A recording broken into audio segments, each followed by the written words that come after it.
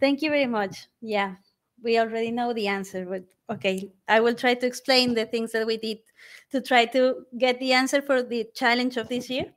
Uh, so my name is Mirna Vázquez. I will present this work, uh, but similar as Derry, I'm also a microbiologist that is learning some computational, so be kind. okay, uh, and also I want to, to mention that I'm going to present the work that we did like as a group. We were working on this, a lot of undergrads and grad students during the summer. So I will present the work that uh, many people did. So yeah, so this is all of us. I divided the talk in different topics, so it's easier for us, or at least for me, to try to explain you what we did. So I will start talking about microbial diversity and metagenomics. And then what did we learn about the CAMDA challenge, the two challenges that we were uh, trying to solve, and some extra analysis that we decided to do with this data, and some conclusions about it. So, okay, let's go and talk about microbial diversity and metagenomics. So I was very interested on this challenge when they invited me to work with them, uh, with the team, because this challenge is about microbes, and microbes are very interesting. microbes are actually super diverse. I'm just showing you some numbers because someone made some calculations and they found that there are a lot of microbial diversity in the oceans, even more than stars in the universe if we make some numbers. So that's amazing to me. and that also can be observed in the tree of life that I'm showing you there which is the most recent version of it. And if you look closer to this tree, you will see that most of the branches uh, belong to bacteria and some other to archaea. The eukaryotes are just right here, so they are really few. Uh, but the most interesting thing from this tree is that if we look to the tip of some of these branches, you will see uh, some red dots on this uh, big tree. And these red dots represent uh, lineages that have only been seen or observed in the microbial diversity through metagenomics, which is amazing because it's most of the diversity. So I know that for now, we most uh, most of you know already what is metagenomics, but I will try to explain you for those of, uh, of you that are not really familiar with it. So metagenomics, literally, it means going beyond genomics. So instead of studying just the genes of one species or only one organism, we're studying the genes of the whole environmental sample. The environmental sample can be whatever we want. It can be a soil sample, the gut, uh, or whatever we want. So we extract the DNA, we make the sequencing of this DNA, and from that we get reads that can be short or long. It depends on the technique that we use. And then with these reads, we can reconstruct MAGs, but also we can just use the, the reads and profile the metabolic, the metabolic uh, capabilities of all the microbes living there. And also we can build some phylogenetic trees like this and uh, start to guess diversity, like the taxonomy of the sample. So this is metagenomic. This is the microbial diversity. This is the whole universe of microbes that are there. And I was interested on this because the CAMDA challenge this year is like frame on these huge data sets that we have now related to um, metagenomics. And the idea of the challenge is interesting. Like we have a lot of data in the biological science, and how can we use this data? What can we do with all this information? So for this challenge, most of you know because you were working on this. we had a lot of metagenomes, 365 samples distributed in these cities all across the, the world. And uh, we also had what we decided to call the mysterious sample.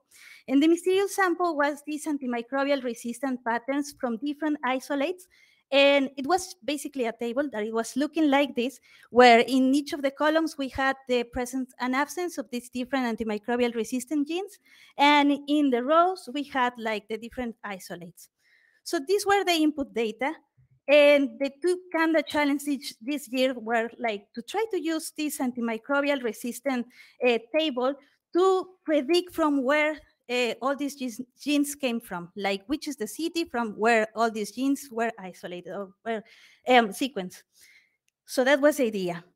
We had just one clue to try to start modeling. The clue was this, that uh, um, the antimicrobial resistant patterns came from a hospital in, in USA somewhere. Uh, so those were the, the things that we had. The other challenge is the forensic challenge. So the idea of this challenge is also interesting. We basically are going to try to classify the metagenome samples by cities. So this is an example to try to illustrate this challenge or the way we understood the challenge. We have two cities here, Bogota and Sao Paulo. Uh, we have the microbial diversity from different uh, places within the city. And it would be easy if, for example, uh, this is just representing the diversity in OTUs. So if, for example, Bogota has a lot of brown and a lot of um, pink uh, reads, meaning a lot of brown and pink diversity, while Sao Paulo has this green diversity and also this pink diversity. So if we had a pattern like that in all the cities, it would be, it would be very simple just to classify the cities because the pattern is clear. But it's not always the, that's not always the case. So we have two, two ways of approach to these problems, the supervised algorithms and also the unsupervised algorithms. So these are also the ways that we approach to it. Uh, in the case of the supervised algorithms, for example, we, we come back to these two cities, Bogota and Sao Paulo, and what we did was to try to break these data sets in two type of data, the test and the training data sets. We use the training data set to feed some models, and then we start the prediction of the test set to try to see from where it was, uh, the sample came from. That's the supervised model. And in the case of the unsupervised model, we use the whole data set. We didn't break it into different uh, test sets or whatever. We use the whole thing to try to put this into a dimensional space and see how they cluster. And for example, here we are showing that in this case, the mysterious sample, whether it's, ooh, that it's represented by this uh -huh, red square, it clusters uh, with Sao Paulo. And so we can say, oh, the mysterious sample came from Sao Paulo and things like that. So this is the unsupervised type of algorithm. So we use these two approaches to try to solve these two challenges, the from where the mysterious sample come from, and also uh, to try to classify the cities. Mm, so we download all these metagenomes and then we start doing all this um, processing of the data. Uh, we had our raw reads. Uh, we used TrimGalore to trim all the, to take the adapters and contaminations. And then we use MegaHit to get the assemblies of all of these uh, metagenome samples. And basically, then with the assemblies, we run Kraken to create the taxonomic profiles. And then we use CARD to create, to create the antimicrobial resistant profile. Okay, this is just basically what we did. So let's go to the antimicrobial resistance challenge. So as I was saying at the beginning, we had this table uh, from with the genes uh, from the isolates. So what we had to do first was to try to annotate the genomes or the metagenomes uh, using the IDs that we found in that table. So for that, as many other people here, we use this database that is called CARD, uh, the Comprehensive Antibiotic Resistant Database to try to annotate we, the, the metagenome. So basically, we took the IDs from this big table and we look for all these IDs into the microbial, into the CARD database. And that way, we try to extract the sequences uh, from that database that didn't work. I mean, it worked, but not for all the, the, gene markers that were present in this table.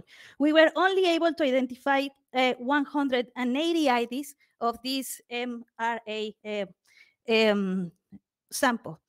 So we had to do, uh, we had to create manually a database, meaning that we went to the databases like, for example, UniProt and NCBI to try to search for the rest of the IDs that we couldn't find in the CARD database. So we created uh, this database and then we had, let's say that we had two databases, the CARD database and the manually created database, and we use both things to annotate all the metagenomes. So there were many ways of doing this, so as we have seen. But we decided to extract the contigs that were related to the isolates uh, of the in the mysterious sample, meaning we tried to extract the contigs from Enterobacter, Klebsiella, and also Escherichia coli. And we did this by following two different approaches. The first approach is by co-assembly all the different metagenomes by city, and then we extract the different uh, Klebsiella, Enterobacter, and Escherichia coli that we found in the sample, and we annotate all of these uh, contigs with CARD. The other way uh, we also extracted the contigs, contigs was, was just by extracting by genera, using, for example, Kraken, the output from Kraken. That way we extracted the contigs that were associated with these uh, isolates, and then we assemble uh, all these contigs, and then we annotated with CARD. So following this strategy, um, well, uh, we were able to cluster or try to cluster uh, the different resistant mechanisms that were described or the yeah that were described within CARD and try to see how the mysterious sample cluster with all of this. And yes, we found that New York was clustered uh, closer to the mysterious sample, meaning in the case of Enterobacter. Similar thing we found in Klebsiella. Uh, however, we couldn't find this pattern in E. coli. The mysterious sample seemed to be more similar or more closer to Denver instead of New York. So by this point, we were just pretty sure that New York was the mysterious, uh, were the source of the mysterious sample. However, now that we know that it's Baltimore, if we look closer to the Klebsiella plot, we can see that the second thing that was closer to New York uh, was Baltimore. So probably we were close. well, okay, so we were wondering why why uh, E. coli had a different pattern. So we tried to see like uh, well, we make these questions to ourselves. How different is the abundance of the different bacteria in this sample? So we use uh, the OTU table to try to see the abundance of each of these different genera. And what we observe is that uh, Enterobacter and Klebsiella are really abundant in the different metagenomes from the US. However, Escherichia coli is not really abundant. So we thought that probably the, the reason why we saw that pattern is just because it's not abundant somehow in these uh, metagenomes. So we try another clustering approach. Uh, we use the CARD uh, markers and usually the manually uh, curated markers.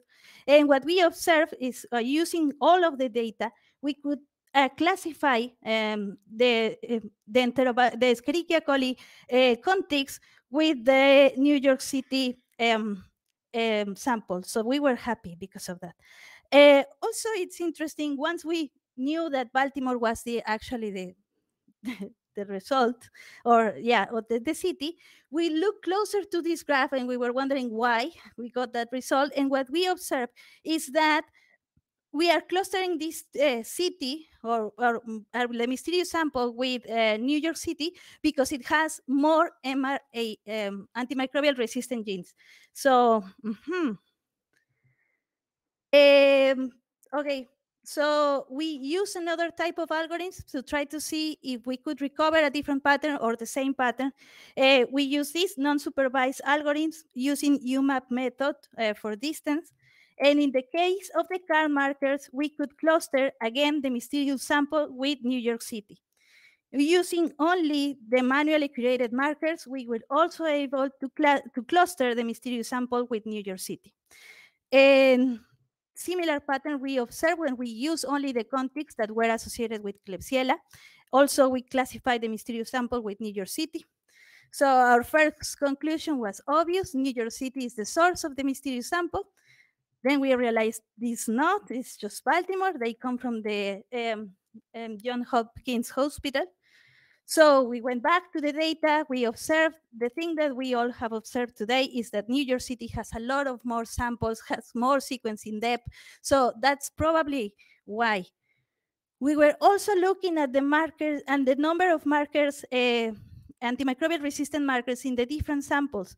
And what we observe is that in Baltimore, we don't really have all the markers, or we have all of them, but we have very few with respect to New York City. Similar happens in the co-assembled samples. We also have the same pattern. We have a lot of, we have more uh, marker genes in New York City than in Baltimore. So we think that's the reason why our all our, our modeling is clustering with uh, New York City instead of Baltimore. So our conclusion here is that we need more sequencing in Baltimore so we can uh, find a different result. Okay, So in the case of the forensic challenge, so as I mentioned before, we understood the CAMDA challenge in these two ways, uh, like the resistant patterns uh, using the antimicrobial resistant table, and also the metagenome classification by cities. So we are working with a metagenome. So we have two levels of information. The metabolic profile, which is basically all the genes that code for some function and belong to some metabolic pathway and the diversity profile, which is basically an, well, I mean, well, the taxonomic diversity that can be uh, obtained for some specific markers or like 16S or whatever. So we try to uh, do this classification, metagenome classification, by using these two levels of information we understand the classification mode, uh, problem as a case of a statistical prediction. Basically, we have uh, different variables like uh, the abundance of the OTUs, we have the antimicrobial resistant patterns, for example, we have the origin of the city, and we can use this information to fit a model, for example, with a logistic regression or some machine learning, and then we can use all these models to make predictions. So this is basically what we are doing we have different ways of measure how good are our predictions. Uh, we basically are seeing the, uh, the rates of uh, false positives, and we are uh, looking closer to the F1 score, which is the harmonic mean of the precision and the recall, which is the um, uh, rate of false positives. So we start by classifying the cities using functional data. Uh, for that, we took the assemblies, the contigs that we obtained, and we used these two databases to create a, a table like this uh, for the uh, functional profile. These two databases are mi-faser and Metacyc. So um, in the functional world, in the annotation world of functional databases, uh, some of these databases have labels, um, levels, levels, yeah, uh, like, uh, yeah, like for example, we can find like level one, which is just carbo something degradation or nitrogen degradation, which are very broad categories. And we can go deep into the categories in the annotation to probably just getting to enzyme and the specific function of the enzyme. So we annotate uh, the, all the assemblies uh, following these two, uh, when using these two annotation tools. And that way we created the functional profiles. The functional profiles were looking something like this, where in each of the columns we have the ID of the different enzymes or whatever we were annotating at that point. And in the rows we had the cities. So with these functional profiles that we create, we uh, start to train in our models uh, we split our data set to create a training set that uh, then we again um, split in five folds that we use to fit these different models that I'm showing you here. Then we got the best parameters for each of them. And then um, we got the best, uh, the best parameters that we could for each of the models. And then we started a voting process where we selected the best model that we could. Uh, this voting section was divided in two.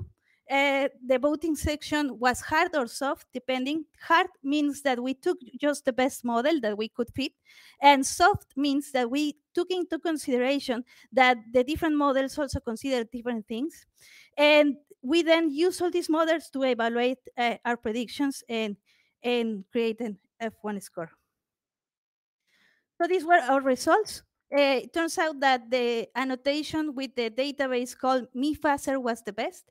Uh, also, the best uh, classification was done with the level four of the functional annotation. And the algorithm that worked better was the MLP algorithm, which can be observed here. We uh, almost hit the 0.8% uh, of accuracy. And you can observe that in the confusion matrix that is next to it, where you can see how well uh, this model could predict the origin of the city. So it's not great, but it's good. then we try to do the same thing, but the, with the microbial, um, with the diversity profile. So the diversity profile, it's basically all the OTUs or all the diversity, uh, the way we want to uh, get taxonomy. So it can be a table with the different labels also like for example because we have different taxonomical labels for example for, for example phylum order class whatever. So we try to create tables with the different labels and also for each of the different um, cities. So that can be a lot of data so one of the first things that we decided to do was to create a way to select variables that, or the most important OTUs that could allow us to classify the cities. Uh, this was the pipeline that we follow. So we had the samples, we create a table very similar to the one that I show you in the case of the uh, functional profile. Uh, this time we had the taxonomic labels, labels here. And we then select, um, create this algorithm to select specific variables, uh, specific OTUs that could be um, um, good for uh, our comparisons or model uh, classification. And then we run the models uh, over this short data set. So how did we did this short uh, version of the OTU table?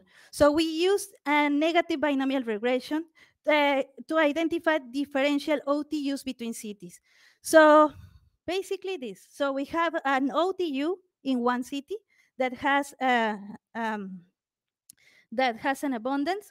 We calculate its mean we look at the same OTU in a different city. We also calculate the mean in this uh, specific city. And then with this information, we calculated a global mean for each of these uh, OTUs. And then uh, we saw the deviation from the global mean of each of the OTUs. In this way, we were able to reduce our OT, OTU table to 300 OTUs that were able to differenti differentiate between cities. So this, we thought this is an improvement because there's a lot of data for all the people that have done metagenomics. We know that can have a lot of data, and this is well, we thought we think it's good because now we can work with the small data that can also uh, make predictions.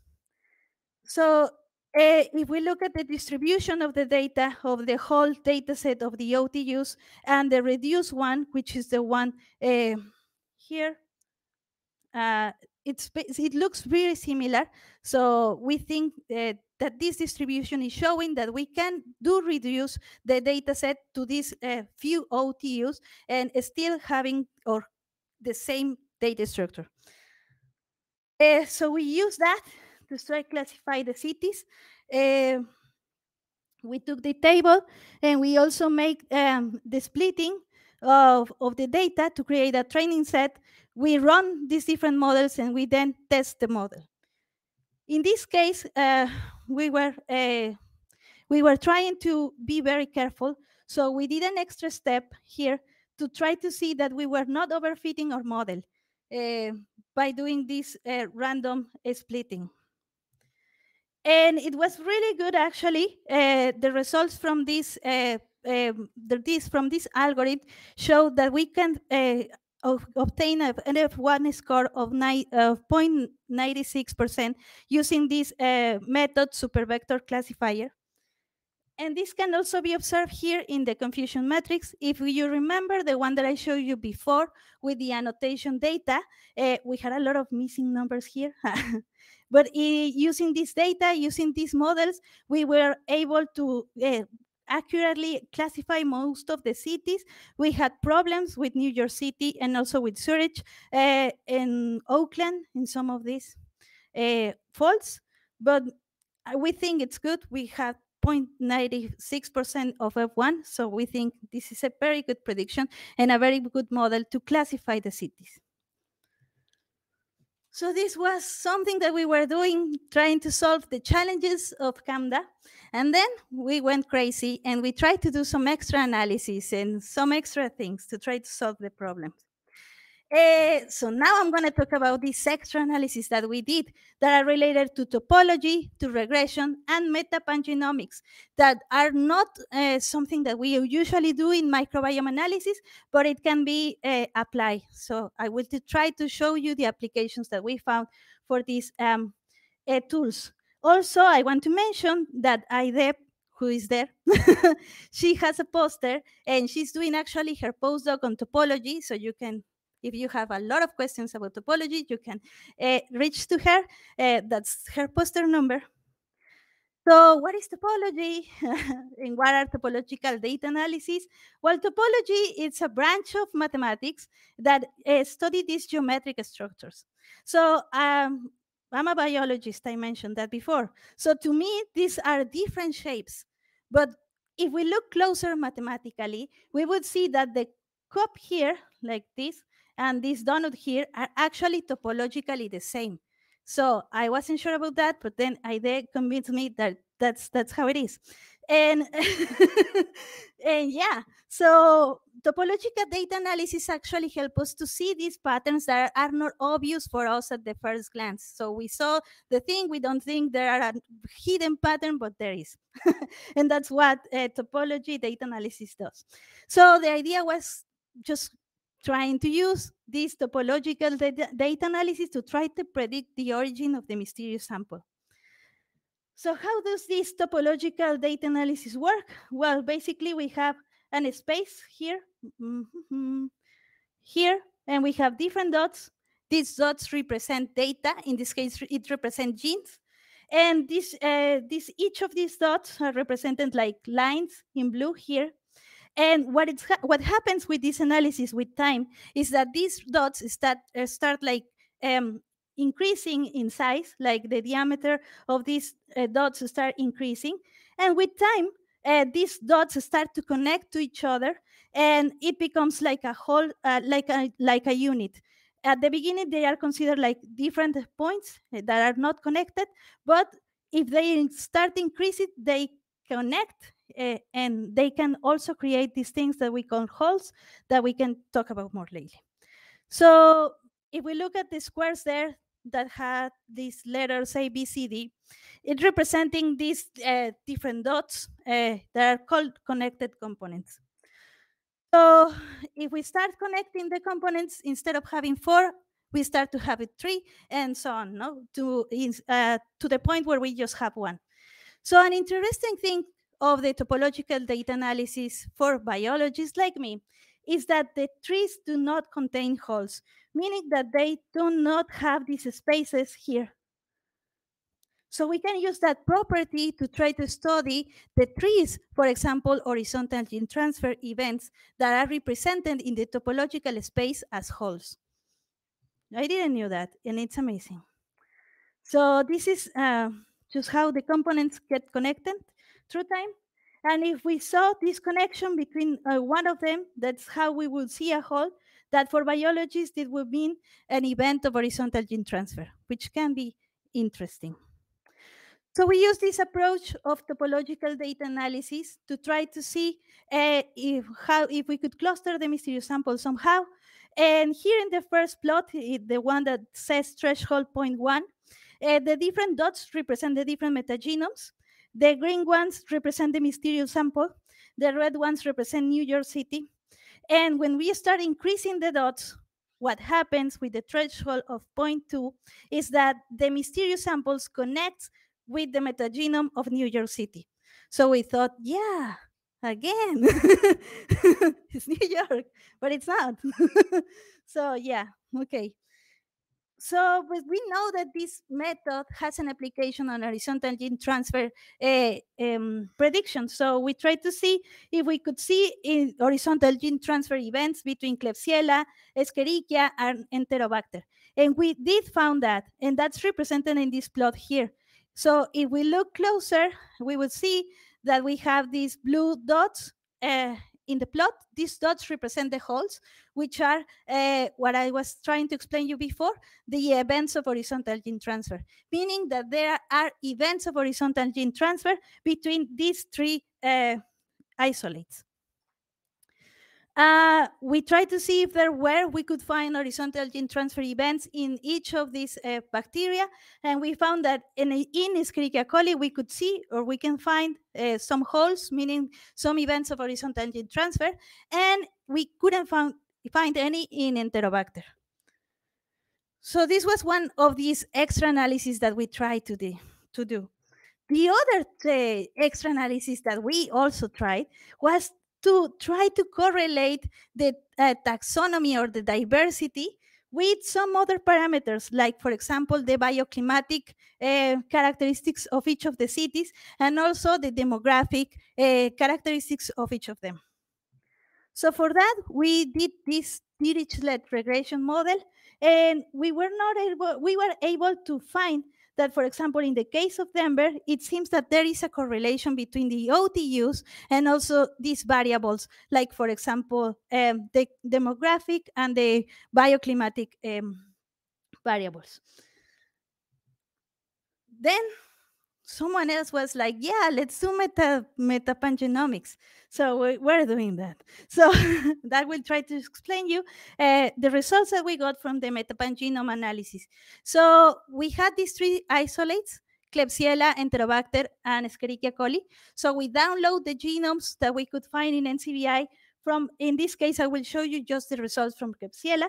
We downloaded genomes from Klebsiella uh, that were uh, uh, that were uploaded from hospitals in the years 2016 and 2017, and we uh, performed the pangenome reconstruction. So we had all these strains. Uh, we get the gene clusters uh, with these specific isolates, and we create a, a, figure like this, where we were able to obtain the accessory genes for these Klebsiella genomes, and also the core genes for all of them. Yeah, this is a pangenome. And the metapangenome, for that, what we did was to take the, um, the reads for the different cities uh, in the US, and we cross map all these uh, uh, reads to the different strains uh, that we had. We already know if the genes of the strain belong to the core or their accessory genome. So that way we could obtain something like this, which is just the genome of the strain and the reads that map uh, according to different, different cities. Um, and we got something like this. This is just a review figure of what we did. And finally, we got uh, um, a figure like this. We had a tree. Uh, we are showing here the different isolates, which would be Klebsiella, Enterobacter, and, and Escherichia coli.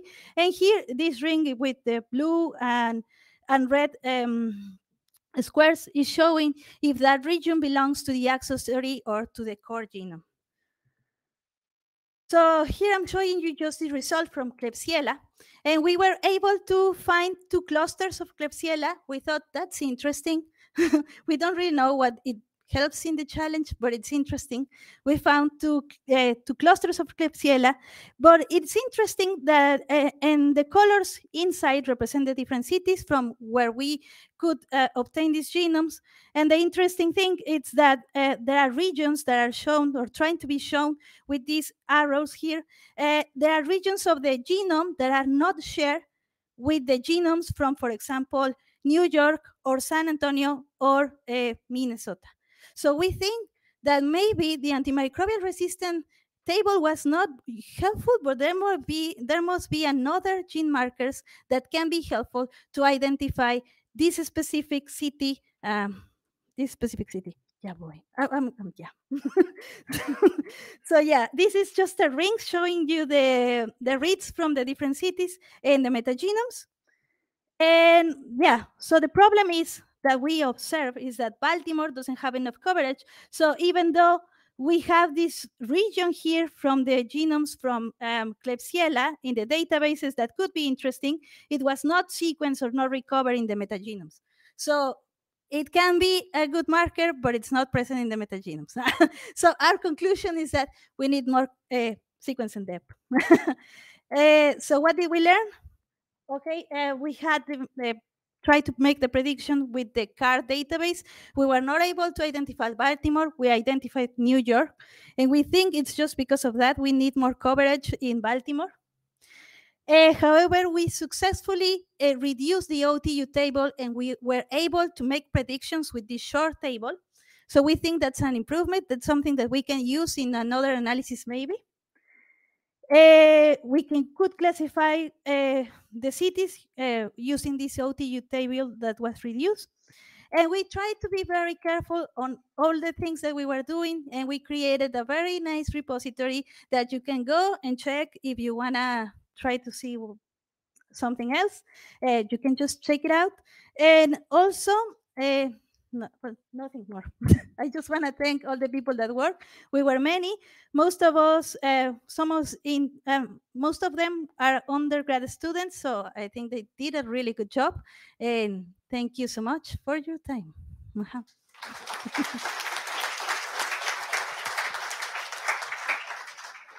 Thank you. It's an impressive amount of work, but uh, as you, the team is was large, but also the coordinating. Uh, I I think it will be now interesting, you know, to somehow put everything together to just draw uh, t- t- more, more nicer, nicer, nice story. It's already great, but it's, Yeah, we I'm, will. I'm impressed. okay, any any questions from from the audience? Yeah, yeah. Thank you. That's, that's great. Um, I'm loving your meta pan genome or pan meta genome, whatever it is. um, so I'm just wondering how, because it, it's based on on on coverage data. So how Mhm. quantitative is it? If you have a, a whole depth of coverage over over one accessory gene and other other accessory genes is, is there, but it's it's quite low coverage depth. Do you do you capture that, or you, is it just literally presence absence? In this case, it's just present and absence because we download the genomes and we don't have coverage information from that, just from the metagenomes. I don't know if I understood your question. Yeah. hmm Yeah, it would be great if we had that.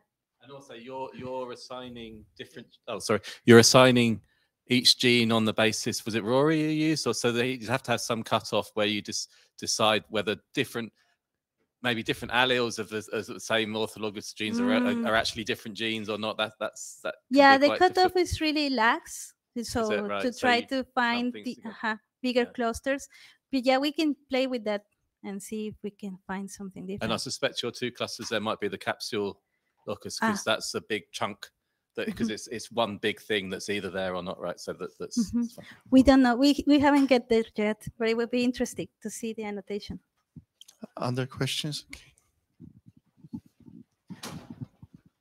Thank- Thanks for doing that. That's really good for the community, right? I actually just mm-hmm. have a quick question. So when you compared the cities with different numbers of features, did you try just restricting it to the set of features that was common to all of them, right? To do maybe a kind of a No, fair, but that yeah, that that sounds like a good idea. yeah. Maybe it wouldn't work still, right? But maybe just We a can try. completeness of story.